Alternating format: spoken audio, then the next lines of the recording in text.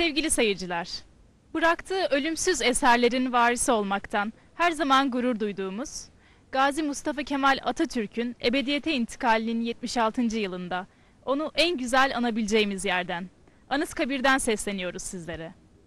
Anıtkabir'i bilinen süliyeti dışında bilinmeyen yönleriyle gelin hep birlikte tanıyalım.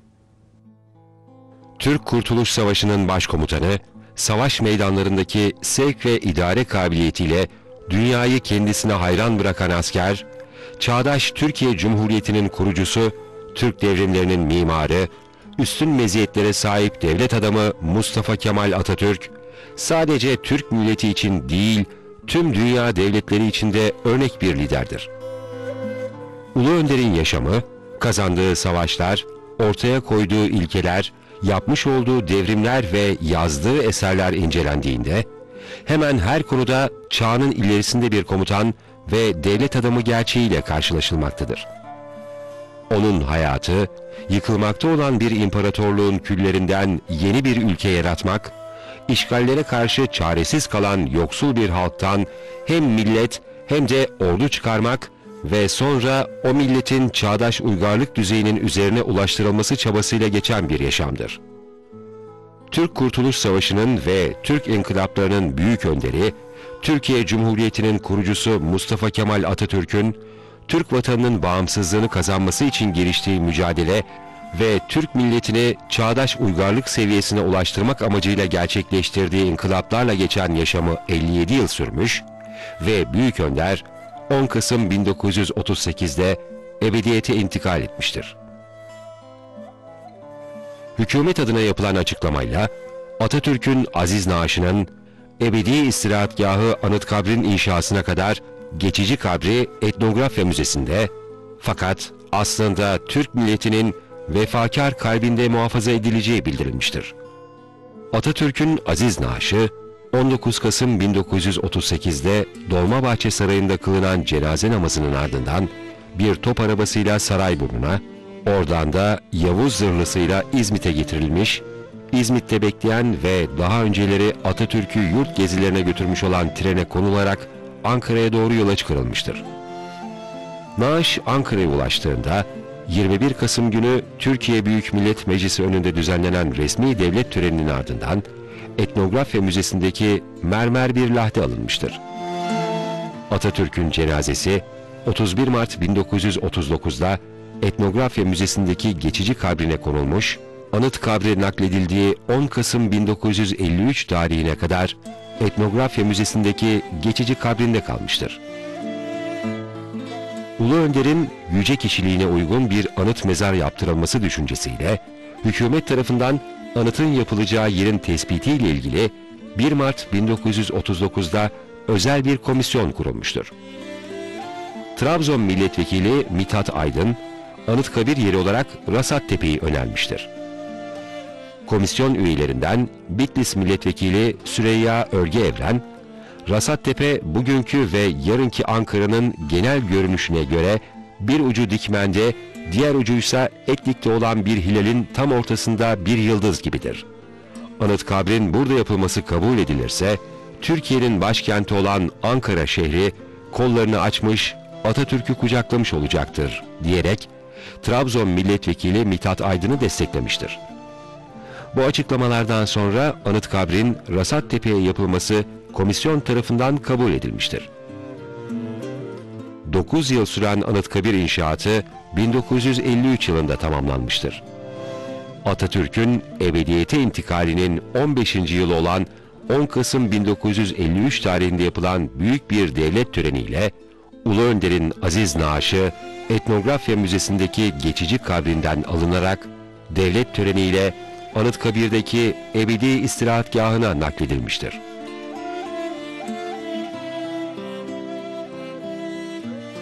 Anıtkabir yaklaşık 750 bin metrekarelik bir alan üzerine kurulu olup, bu alanın yaklaşık 120 bin metrekarelik kısmı anıt bloğu, 630 bin metrekarelik kısmı ise Barış Parkı'dır. Anıtkabir'in yeşil alanı, Atatürk'ün yurtta sulh, cihanda sulh özdeyişinden ilham alınarak 25 yabancı ülkeden ve Anadolu'nun çeşitli bölgelerinden getirilen ağaçlar ve süs bitkilerinden oluşturulmuştur. Bu nedenle adına Barış Parkı denilmiştir. Binlerce değişik türdeki bu ağaçlar ve bitkiler, ırk, din ve millet farkı gözetmeden birlikte kardeşçe ve barışçıl bir yaşamı imgelemektedir. Anıt bloğu üç bölümden oluşmaktadır. Bu bölümler Aslanlı Yol, Tören Meydanı ve Mozole'dir. Ayrıca anıt bloğu yapı topluluğu içerisinde simetri gözetilerek yerleştirilmiş 10 adet kule yer almaktadır. Türk milletinin ve Türkiye Cumhuriyeti'nin kuruluşunda büyük rol oynayan bazı yüce kavramları temsil eden isimler bu kulelere verilmiştir. Bu kulelerin isimleri İstiklal, Hürriyet, Mehmetçik, Barış, Zafer, 23 Nisan, Misak-ı Milli, İnkılap, Cumhuriyet ve Müdafaa-i Hukuk'tur. İstiklal Kulesi'nde Anıtkabir'in maketi bulunmaktadır. Hürriyet Kulesi'nde yer alan vitrinde Anıtkabir'in yapım aşamaları ile ilgili yazı ve fotoğraflar, Anıtkabir'in yapımında kullanılan taş örnekleri, Anıtkabir yapan mimarlar ve emeği geçen sanatçıların kısa biyografileri yer almaktadır. Mehmetçik Kulesi'nin dış yüzeyinde yer alan kabartmada, elini asker oğlunun omzuna atmış, onu vatan için savaşa gönderen hüzünlü fakat gururlu Türk annesi tasvir edilmiştir. Müdafaa-i Hukuk Kulesi'nde hatıra ve hediyelik eşya satış bölümü bulunmaktadır. Zafer Kulesi'nde Atatürk'ün cenazesini taşıyan top arabası sergilenmektedir. Barış Kulesi'nde Ulu Önder Atatürk'ün makam aracı olarak kullandığı iki adet otomobili bulunmaktadır. 23 Nisan Kulesi'nde Atatürk'e ait bir tekne ve Cadillac marka otomobil sergilenmektedir. Misak-ı Milli Kulesi, törenler sonrasında Anıtkabir özel defterinin yazıldığı ve imzalandığı yerdir. İnkılap Kulesi'nin iç duvarında yer alan kabartmada zayıf, güçsüz bir elin tuttuğu, sönmekte olan bir meşale, çökmekte olan Osmanlı İmparatorluğunu, güçlü bir elin göklere doğru kaldırdığı ışıklar saçan meşale ise yeni Türkiye Cumhuriyeti'ni simgelemektedir. Cumhuriyet Kulesi, Cumhuriyetçilik ilkesini temsil etmektedir. Kulelerin çatılarının tepelerinde eski Türk çadırlarında görülen tunç mızrak ucu yer almaktadır. İstiklal Kulesi önünde ulusal giysiler giymiş üç kadından oluşan heykel grubu yer almaktadır. Bu kadınlardan ikisi yere kadar uzanan bir çelenk tutmaktadır. Başak demetlerinin oluşturduğu bu çelenk, Anadolu'nun bereketini temsil etmektedir. Erkek heykel grubu, Hürriyet Kulesi'nin önünde duran heykel grubudur. Bu üçlü heykel grubunda sağdaki erkek başında miğferi ve kaputuyla Türk askerini temsil ederken, onun yanında elinde kitabıyla Türk gençliği ve Türk aydını, biraz gerisinde ise Türk köylüsü tasvir edilmiştir. Kadın ve erkek heykel grubundan sonra bizleri Aslanlı Yol karşılamaktadır. Aslanlı Yol'un iki yanında Anadolu'da büyük bir devlet kurmuş olan Hititlerin aslan üslubuna uygun olarak yapılan oturmuş halde 24 tane aslan heykeli bulunmaktadır. Bu aslanlar aynı zamanda Orta Asya'dan göç eden 24 Oğuz Türk boyunu temsil etmektedir. Aslanlı yolun hemen sonunda Mehmetçik ve Müdafaa-i Hukuk Kuleleri arasından ilerlendiğinde yaklaşık 15 bin kişi kapasiteli tören meydanıyla karşılaşılmaktadır. Tören meydanının zemini siyah, sarı, kırmızı ve beyaz renkte halı ve kilim motifleriyle döşenmiştir. Zafer Kulesi ile Barış Kulesi sütunlu yolla geçmektedir. Sütunların tavanı Türk kilimlerinden alınmış süs motifleriyle bezenmiştir. Bu revakların hemen ortasında Kurtuluş Savaşı'nda Garp Cephesi Komutanı ve Türkiye Cumhuriyeti'nin ilk başbakanı ve ikinci Cumhurbaşkanımız İsmet İnönü'nün sembolik lahdi yer almaktadır. 1973 yılında vefat eden İnönü'nün naaşı Anıtkabir'e defnedilmiş olup mezar odası sembolik lahdinin altında yer almaktadır.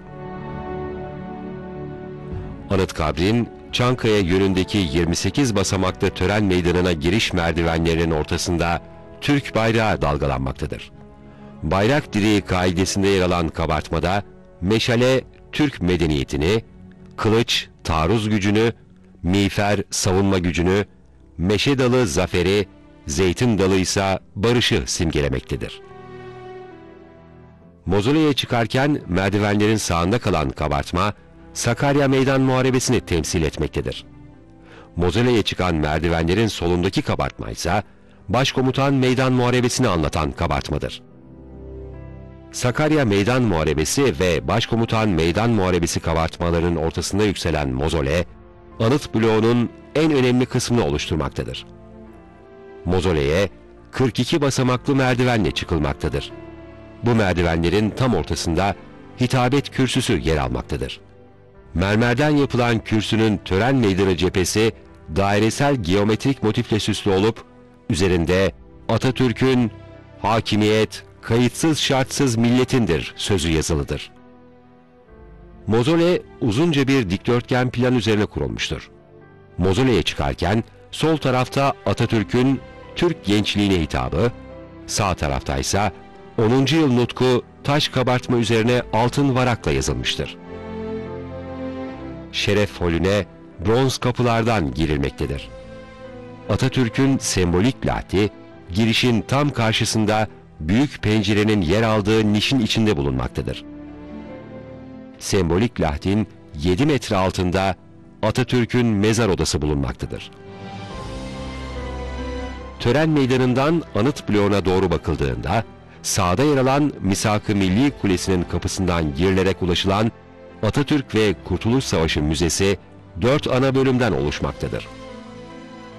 Müzenin birinci bölümünde Atatürk'ün kullandığı eşyalarla kendisine yabancı devlet adamları tarafından hediye edilen eşyalar sergilenmektedir.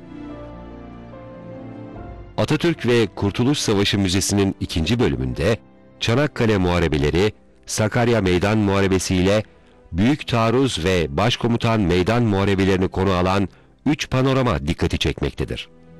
Bu panoramalar, üç boyutlu canlandırmalar ve ses efektleriyle daha çarpıcı bir hale getirilmiştir. Müzenin üçüncü bölümü, panorama bölümünü çevreleyen koridordaki 18 galeride yer alan tematik sergi alanlarından oluşmaktadır. 1919-1938 yılları arasında Atatürk dönemine ilişkin olayların anlatıldığı galerilerde Türk yurdunun paylaşılması, milletin uyanışı, Kurtuluş Savaşı evreleri ve zaferden sonra modern Türkiye'nin doğuşunu hazırlayan inkılaplar anlatılmıştır. Bu bölümdeki ikinci koridorun hemen ortasında Atatürk'ün mezar odası bulunmaktadır.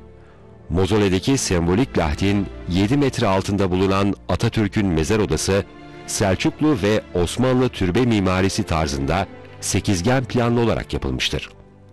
Mezar odasının tam ortasında kırmızı mermerden bir sanduka bulunmaktadır. Bu sandukanın etrafında 81 ilimizden Kuzey Kıbrıs Türk Cumhuriyeti ve Azerbaycan'dan getirilen topraklar pirinç vaz olarak konulmuştur. Atatürk'ün naaşı o dönemin bütün vilayetleri, Selanik'teki evi, Kore'deki Türk şehitliği, Kuzey Kıbrıs Türk Cumhuriyeti ve Suriye'deki Türk toprağı sayılan Süleyman Şah'ın mezarından getirilen toprakların harmanlandığı mezara konulmuştur. Atatürk ve Kurtuluş Savaşı Müzesi'nin dördüncü ve son bölümünde Atatürk özel kitaplığı bulunmaktadır. Bu bölümde Atatürk'ün kendine ait kitapları ve içeriğinde Atatürk'le ilgili bilgilerin yer aldığı 14 adet dokunmatik bilgi cihazları yer almaktadır. Anıtkabir, Türk milleti için Atatürk'ün mezarı olmanın ötesinde bir anlam taşımaktadır. Anıtkabir, özgürlüğüne ve bağımsızlığına kavuşturduğu Türk milletinin Atatürk'e olan minnet borcunun bir ifadesi olarak inşa edilmiştir. Bu yapı bir milletin varoluş mücadelesinin anıtlaşmış şeklidir. Türk milleti yüreğinde taşıdığı sevgiyle büyük kurtarıcısı, eşsiz lideri Mustafa Kemal Atatürk'ü asla unutmayacağı gibi onun manevi mirasına da daima sahip çıkacaktır.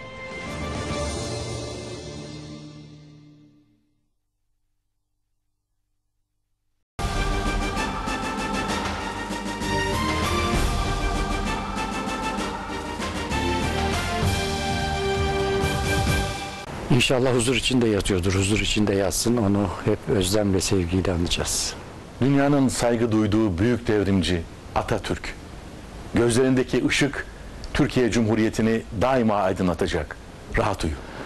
ve seni sevgi, saygı ve de özellikle özlemle anıyoruz.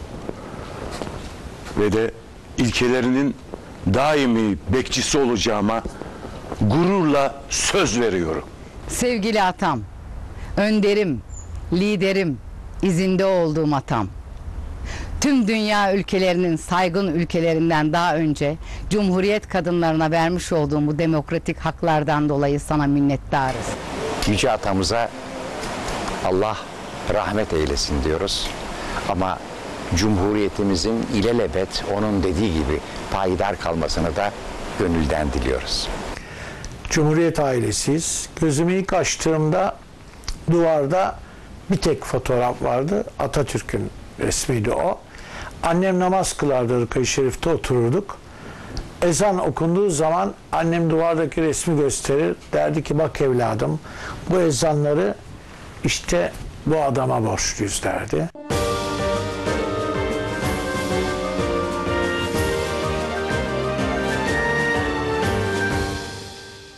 Ve geldik bu haftanın soru bölümüne.